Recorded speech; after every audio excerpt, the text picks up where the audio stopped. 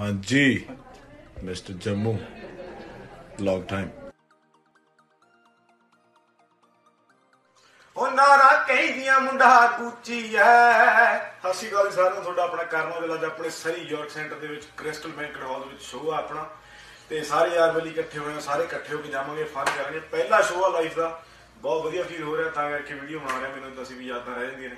ਸਤਿ ਸ਼੍ਰੀ ਅਕਾਲ ਦੋਸਤੋ, ਤੁਹਾਡਾ ਸਭ ਦਾ ਸਵਾਗਤ ਹੈ ਆਪਣੇ ਚੈਨਲ ਧੜਕਨ ਪੰਜਾਬੀ ਉੱਪਰ। ਦੋਸਤੋ, ਨਵੀਆਂ ਅਤੇ ਤਾਜ਼ਾ ਖਬਰਾਂ ਦੀ ਜਾਣਕਾਰੀ ਲਈ ਸਾਡੇ ਚੈਨਲ ਨੂੰ ਸਭ ਤੋਂ ਪਹਿਲਾਂ ਸਬਸਕ੍ਰਾਈਬ ਜ਼ਰੂਰ ਕਰ ਲੈਣਾ। ਦੋਸਤੋ, ਗਾਇਕ ਕਰਨ ਔਜਲੇ ਵੱਲੋਂ ਵੀ ਸਿੱਧੂ ਹੁਣਾਂ ਨੂੰ ਜਵਾਬ ਦਿੱਤਾ ਤੇ ਰੈਪਰ ਸੁਲਤਾਨ ਦੀ ਟੀਮ ਵੱਲੋਂ ਔਜਲੇ ਦਾ ਨਾਮ ਲੈ ਕੇ ਜਵਾਬ ਦਿੱਤੇ ਗਏ। ਜਿਵੇਂ ਕਿ ਤੁਹਾਨੂੰ ਸਾਰਿਆਂ ਨੂੰ ਹੀ ਪਤਾ ਹੈ ਕਿ ਪਿਛਲੇ ਕੁਝ ਦਿਨਾਂ ਤੋਂ ਪੰਜਾਬੀ ਇੰਡਸਟਰੀ ਵਿੱਚ ਇੱਕ ਵਿਵਾਦ ਛਿੜਿਆ ਜੋ ਕਿ ਹੁਣ ਅੱਗੇ ਵਧਦਾ ਹੋਇਆ ਵੀ ਦਿਖਾਈ ਦੇ ਰਿਹਾ ਹੈ। ਅਸੀਂ ਗੱਲ ਕਰ ਰਹੇ ਹਾਂ ਸਿੱਧੂ ਦੀ ਟੀਮ ਦੇ ਮੈਂਬਰ ਗਾਇਕ ਪ੍ਰੇਮ ਢਿੱਲੋਂ ਤੇ ਅਮਰਤ ਮਾਨ ਦੇ ਨਵੇਂ ਗਾਣੇ ਪ੍ਰਾਹੁਣੇ 'ਚ ਔਜਲੇ ਤੇ ਸੁਲਤਾਨ ਨੂੰ ਜਵਾਬ ਦੇਣ ਤੋਂ ਬਾਅਦ ਪੈਦਾ ਹੋਈ ਹਲਚਲ ਬਾਰੇ। ਇਸੇ ਤੋਂ ਬਾਅਦ ਹੀ ਦੋਵੇਂ ਪਾਸਿਆਂ ਤੋਂ ਜਵਾਬਾਂ ਦਾ ਸਿਲਸਿਲਾ ਵੀ ਸ਼ੁਰੂ ਹੋ ਗਿਆ। ਹਾਲਾਂਕਿ ਔਜਲੇ ਵੱਲੋਂ ਦੇਖਿਆ ਜਾਵੇ ਤਾਂ ਇਸ ਮਾਮਲੇ ਵਿੱਚ ਅਜੇ ਤੱਕ ਉਹ ਚੁੱਪ ਹੀ ਦਿਖਾਈ ਦੇ ਰਹੇ ਸਨ। ਪਰ ਸੁਲਤਾਨ ਦੀ ਟੀਮ ਵੱਲੋਂ ਪ੍ਰੇਮ ਢਿੱਲੋਂ ਨੂੰ ਕਈ ਜਵਾਬ ਦਿੱਤੇ ਗੈਵੀ ਢਾਲੀਵਾਲ ਜੋ ਕਿ ਸੁਲਤਾਨ ਦੇ ਹੀ ਸਾਥੀ ਹਨ ਉਹਨਾਂ ਨੇ ਆਪਣੇ ਸੋਸ਼ਲ ਮੀਡੀਆ ਤੇ ਲਿਖ ਕੇ ਪ੍ਰੇਮ ਨੂੰ ਜਵਾਬ ਦਿੱਤੇ ਗੈਵੀ ਨੇ ਇੱਥੋਂ ਤੱਕ ਕਿ ਸਿੱਧੂ ਦਾ ਨਾਮ ਲੈ ਕੇ ਵੀ ਜਵਾਬ ਦਿੱਤਾ ਕਿ ਤੁਹਾਡੇ ਉਸਤਾਦ ਮੂਸੇਵਾਲੇ 'ਚ ਦੱਲਪੁਣਾ ਹੈ ਹਾਲਾਂਕਿ ਅਸੀਂ ਇਹਨਾਂ ਸ਼ਬਦਾਂ ਨਾਲ ਸਹਿਮਤ ਨਹੀਂ ਹਾਂ ਇਹ ਕਿਸੇ ਦੀ ਨਿੱਜੀ رائے ਹੋ ਸਕਦੀ ਹੈ ਪਰ ਨਾਲ ਹੀ ਗੈਵੀ ਨੇ ਲਿਖਿਆ ਕਿ ਅਸੀਂ ਔਜਲਾ ਨਹੀਂ ਹੈਗੇ ਪੁੱਤ ਦੇਖ ਲੈਣੀ ਜਿੱਥੇ ਦੇਖਣਾ ਭਾਵ ਕਿ ਔਜਲੇ ਦਾ ਜ਼ਿਕਰ ਇਸ ਲਈ ਵੀ ਕੀਤਾ ਗਿਆ ਕਿਉਂਕਿ ਔਜਲਾ ਵੀ ਜ਼ਿਆਦਾ ਜਵਾਬ ਦੇਣ ਵਿੱਚ ਅੱਜਕੱਲ ਯਕੀਨ ਨਹੀਂ ਰੱਖ ਰਿਹਾ ਕਰਨ ਔਜਲਾ ਜੋ ਕਿ ਆਪਣੇ ਗਾਣਿਆਂ ਰਾਹੀਂ ਹੀ ਪੂਰਾ ਜਵਾਬ ਦਿੰਦੇ ਹੋਏ ਦਿਖਾਈ ਦਿੰਦੇ ਹਨ, ਪਰ ਹੁਣ ਆਪਣੇ ਸੋਸ਼ਲ ਮੀਡੀਆ ਤੇ ਲਿਖ ਕੇ ਔਜਲੇ ਨੇ ਜਵਾਬ ਵੀ ਦਿੱਤਾ। ਔਜਲੇ ਨੇ ਸਟੋਰੀ ਵਿੱਚ ਲਿਖਿਆ ਕਿ ਜਿੰਨਾ ਮੇਰੇ ਨਾਮ ਨੂੰ ਬਦਨਾਮ ਕਰਨ ਦੀ ਕੋਸ਼ਿਸ਼ ਕਰਦੇ ਉਨਾ ਹੀ ਨਾਮ ਬਣਦਾ ਹੈ। ਹਾਲਾਂਕਿ ਹੁਣ ਇਹ ਸਟੋਰੀ ਔਜਲੇ ਦੇ ਸੋਸ਼ਲ ਮੀਡੀਆ ਤੋਂ ਡਿਲੀਟ ਵੀ ਹੋ ਚੁੱਕੀ ਹੈ। ਦੱਸ ਦਈਏ ਕਿ ਪੁਰਾਣੇ ਗਾਣੇ ਵਿੱਚ ਅਮਰਤਮਾਨ ਦੁਆਰਾ ਇਨਡਾਇਰੈਕਟਲੀ ਔਜਲੇ ਨੂੰ ਟਾਰਗੇਟ ਕਰਕੇ ਜਵਾਬ ਦਿੱਤੇ ਗਏ ਸਨ, ਜਿਸ ਕਰਕੇ ਔਜਲੇ ਨੂੰ ਵੀ ਬੋਲਣਾ ਪਿਆ।